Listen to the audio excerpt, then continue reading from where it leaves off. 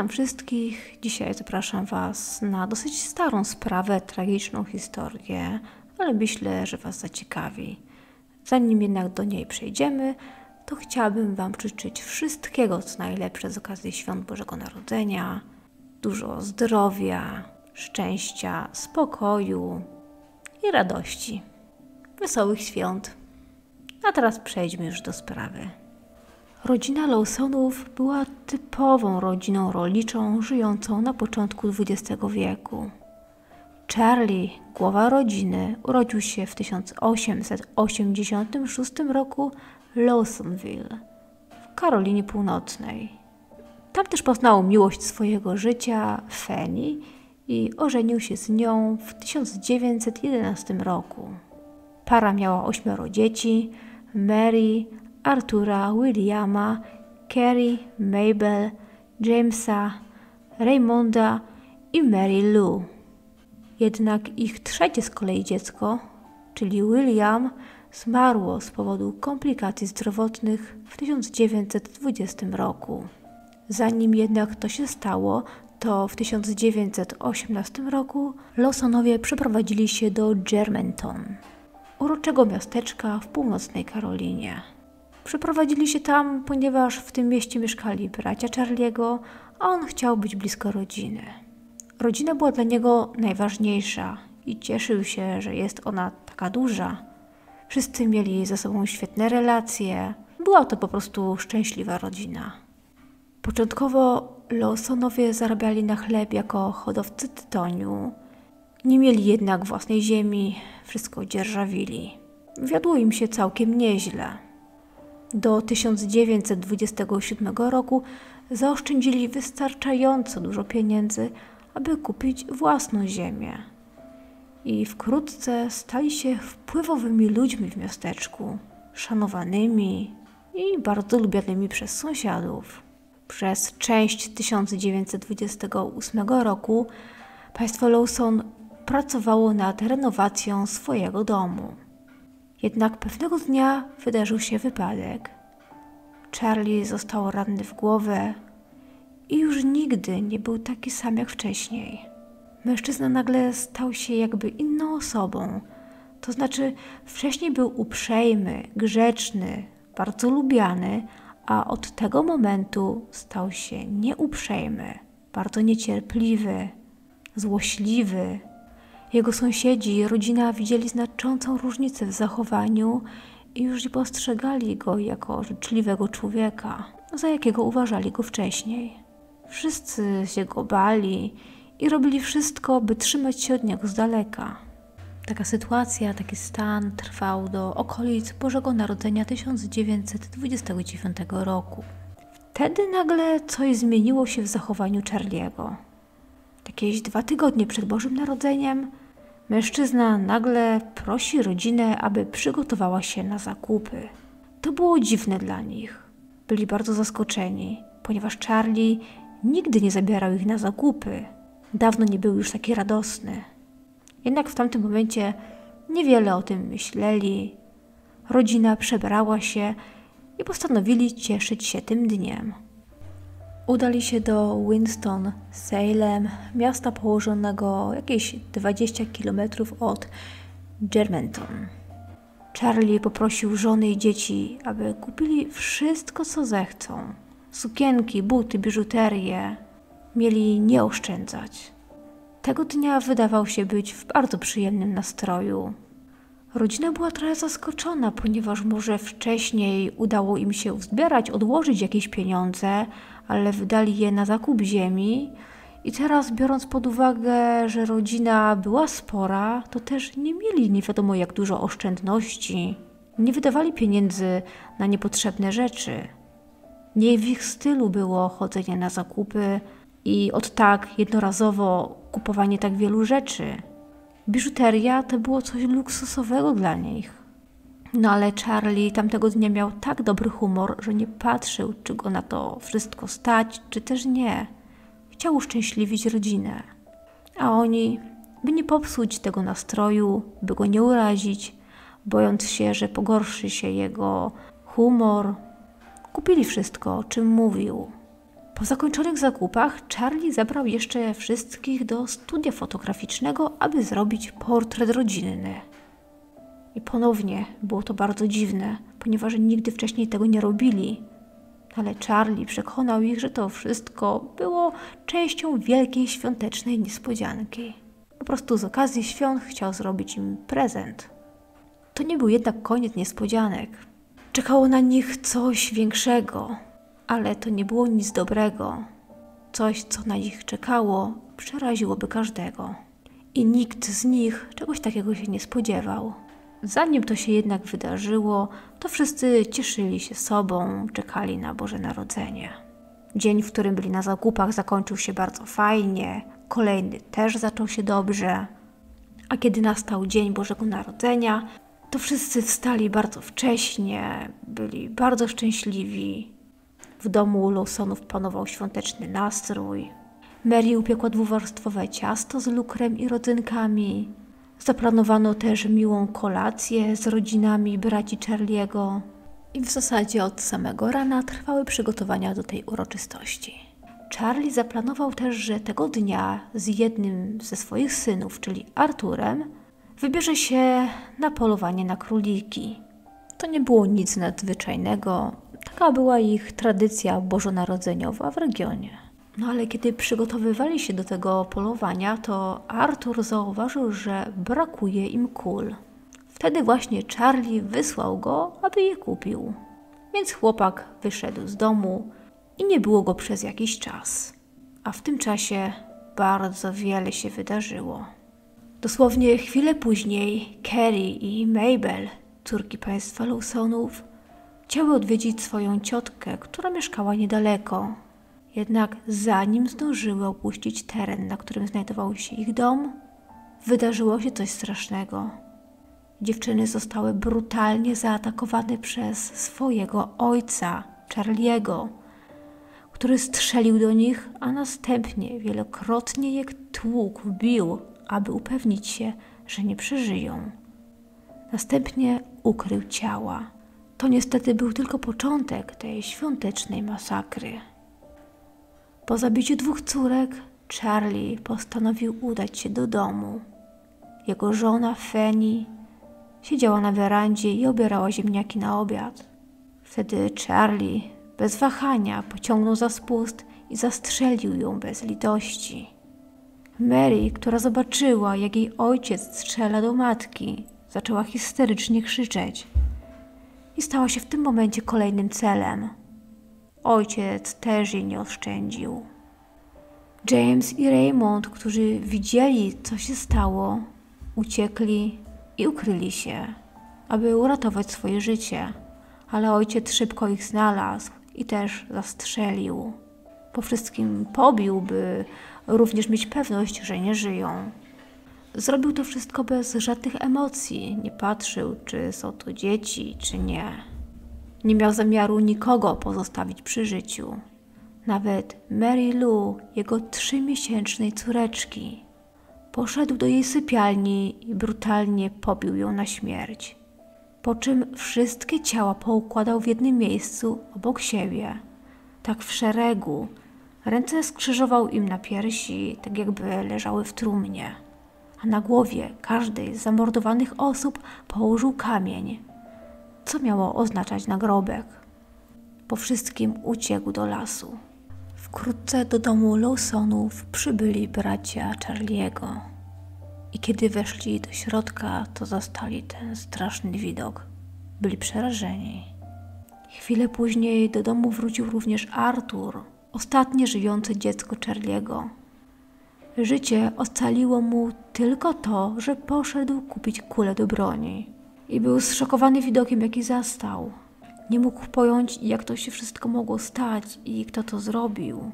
Oczywiście zebrane tam osoby od razu zauważyły, że wśród zabitych osób brakuje jednej osoby, czyli Charliego. Dlatego zaczęli się zastanawiać, gdzie on może być. Na miejscu zjawili się też sąsiedzi, którzy mówili, że słyszeli strzały, ale nie przeszło im przez myśl, że ktoś kogoś zastrzelił. Z góry założyli, że to osoby polujące na króliki, że to one strzelały. Więc wtedy doszli do wniosku, że ktoś specjalnie właśnie w tym momencie zastrzelił rodzinę, dokładnie w tym dniu, gdyż w tym czasie dookoła było słychać wystrzały, zresztą jak co roku o tej porze, i nikt nie zwracał na to uwagi. Ten dzień niestety miał być cudownym, radosnym dniem, a był dla wielu najgorszym w życiu. Zamiast cieszyć się ze świąt, to przeżywali tragedię i szukali po okolicy Charliego. Szukało go wiele osób rodzina, sąsiedzi, policja. I po dość długich poszukiwaniach, w pewnej chwili słychać było w oddali pojedynczy strzał. Natychmiast udano się w to miejsce, skąd dobiegał dźwięk wystrzału. I tam został znaleziony Charlie, ale był martwy. Mężczyzna zastrzelił się. Wiadomo, że chodził kilka godzin po lesie, zanim to zrobił, tak jakby nie był pewien, czy tego chce. No ale w końcu tego dokonał i to pokrzyżowało śledztwo, gdyż nie było jak wyjaśnić, co się z nim działo przez te ostatnie dni, co się działo w jego głowie, przez to, że popełnił samobójstwo, to od razu wszyscy stwierdzili, że to on zabił swoją rodzinę. A skoro już nie żył, to nie można było go zapytać o to, co pchnęło go do tak straszliwej zbrodni. Dlaczego zabił swoją rodzinę? No to wie tylko on. Ludzie zastanawiali się, czemu to zrobił, chcieli wyjaśnień. I mimo iż medycyna w tamtym czasie była na niskim poziomie, to zdecydowano się przeprowadzić sekcję zwłok, zbadać mózg Charliego i stwierdzili, że jego mózg był słabo rozwinięty, ale nie nienormalny. Nic nie wskazywało na to, aby było coś tam uszkodzone, coś, co wpływałoby na jego zachowanie czy rozumowanie. Wszystko było ok. Tak więc ta analiza nie dała im odpowiedzi w zasadzie na żadne pytanie. Jedynie na jedno, czyli na to, że z jego mózgiem wszystko było dobrze i nie można było stwierdzić, że właśnie jakiś uraz mózgu zmienił jego postrzeganie świata i przez to zrobił to, co zrobił. No chyba, że badanie nie było dokładnie przeprowadzone. To były inne czasy, teraz na pewno mielibyśmy lepszy obraz całej sytuacji, lepiej by wszystko zbadano. A tak to niestety nie wiadomo, co było powodem jego zachowania. Okrutnego zachowania, które oburzyło wielu ludzi. I nie mogli oni pojąć tego, jak wcześniej szanowany facet, ich dobry sąsiad, mógł unicestwić swoją rodzinę. Nie mogli w żaden sposób tego wyjaśnić. Oczywiście była to olbrzymia tragedia, o której mnóstwo osób dowiedziało się i na pogrzebie zjawiło się aż 5 tysięcy osób. Rodzina Lawsonów została pochowana razem na ich wspólnej działce. I niestety prawda została zabrana do grobu razem z nimi. Oczywiście pojawiły się różne teorie na temat tego, co mogło się wtedy wydarzyć, więc teraz Wam je przytoczę. Niektórzy uważają, że Charlie był chory psychicznie, co doprowadziło do jego nagłego wybuchu, ale są osoby, które sądzą, że to niemożliwe, gdyż sekcja zwłok wykazała, że z jego mózgiem wszystko było w porządku. Jednak pamiętajmy, to były inne czasy i tak jak mówiłam, badanie mogło zostać niedokładnie wykonane, więc jest to możliwe, że miał jakąś chorobę psychiczną. Kolejna teoria jest dosyć mocna, czyli że Charlie wykorzystał seksualnie swoją córkę Mary, a ona zaszła z nim w ciążę. Nie chciał, aby ktokolwiek się o tym dowiedział, więc zabił całą rodzinę. Chociaż ta teoria była jedną z najbardziej przypuszczalnych, najwięcej osób miało takie podejrzenia, to tak oficjalnie o niej zaczęto mówić dopiero w latach 90. XX wieku. Po raz pierwszy w zasadzie to wspomniano o tym w książce autorstwa Bruce Jones i Trudy J. Smith pod tytułem Białe Święta, Krwawe Święta. Autorzy tej książki twierdzą, że zweryfikowali informacje od kilku krewnych i przyjaciół rodziny, że wszystko, co tam piszą, nie zostało zmyślone. Zresztą w 2006 roku ta sama autorka wydała kolejną książkę pod tytułem The Meaning of Our Tears, w której przeprowadza wywiad z najlepszą przyjaciółką Mary, Elą May. Ella utrzymywała, że Mary wyznała jej, że jest w ciąży, a ojcem dziecka jest jej własny ojciec. Ella twierdziła również, że Fanny, czyli żona Charlie'ego i mama Mary, wiedziała o tym i nie miała nic przeciwko temu. Był też sąsiad, sam, który potwierdził tą teorię, mówił, że widział ciężarną Mary, ale z jakiegoś powodu nie wspomniał o tym nigdy wcześniej, tak samo zresztą jak Ella. Zrobili to dopiero późno, tuż przed 1990 rokiem. Więc czy to, co jest w tych książkach, jest prawdą, tego nie wiadomo. Zapewne nigdy się tego nie dowiemy, ponieważ znając życie, wiadomo, że czasem różne rzeczy są zmyślane tylko po to, aby lepiej się sprzedawały. Tak więc to, co tam pisze, no nie można brać tak do siebie, tak w stu procentach. Kolejna i ostatnia teoria była taka, że Charlie nie zabił swojej rodziny, tylko został wrobiony. Niektórzy uważają, że był on świadkiem czegoś, czego nie powinien był widzieć, a rodzina stała się celem zorganizowanej grupy przestępczej i to oni ich zabili. Wiele osób obaliło tę teorię, powołując się na to, że Charlie dwa tygodnie przed morderstwem zabrał całą rodzinę na zakupy. Jakby pieniądze nie miały już dla niego żadnego znaczenia. Wspomniał też, że w Boże Narodzenie czeka ich niespodzianka, czyli wskazywałoby na to, że miał wszystko zaplanowane i dużo wcześniej wiedział, co chce zrobić i kiedy. Nie wiadomo tylko dlaczego.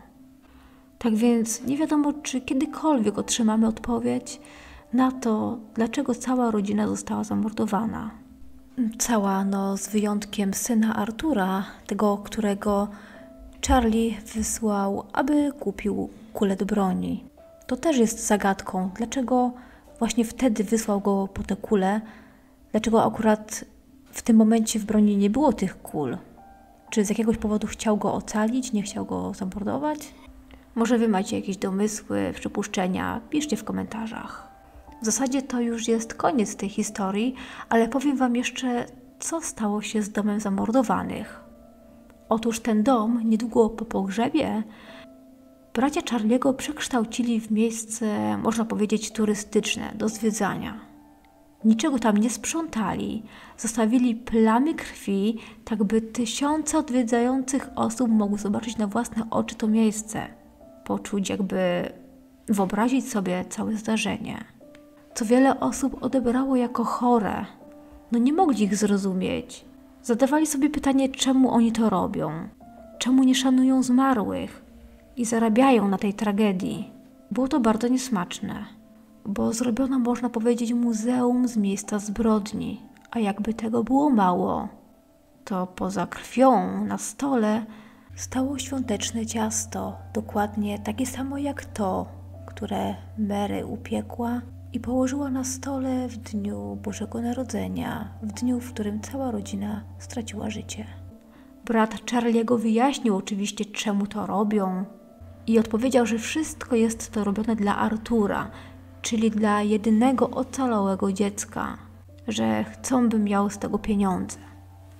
Ale czy to był jedyny jego cel, czyli wsparcie finansowe Artura? Pewnie nie. To był dobry interes. Ogłoszenia o tym miejscu zostały umieszczone w różnych gazetach, takich najbardziej znanych.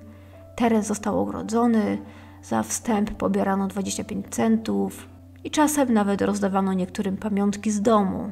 To miejsce stało się naprawdę sławne.